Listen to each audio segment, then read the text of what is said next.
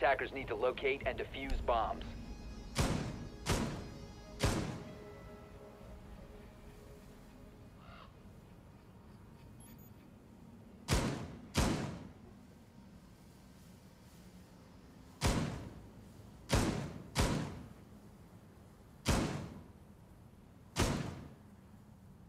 Attackers have discovered the location of a bomb.